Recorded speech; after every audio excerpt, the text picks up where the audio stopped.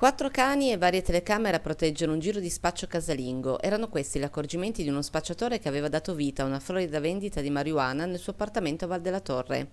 I carabinieri della compagnia di Rivoli, in collaborazione con i colleghi dei forestali, intervenuti per la probabile presenza di cani all'interno della casa, hanno bussato alla porta dell'uomo con un decreto di perquisizione allo scopo di verificare la regolarità dell'impianto di sorveglianza. Ma l'obiettivo dei militari era un altro, entrare nel fortino della droga.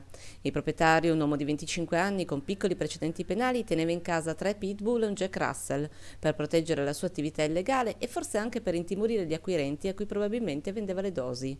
Quando i carabinieri hanno bussato alla porta, l'uomo ha parto senza alcun problema, ma i suoi cani hanno impedito l'accesso ai militari in casa. Dopo una breve trattativa, il proprietario ha messo in sicurezza gli animali e i carabinieri hanno iniziato la perquisizione.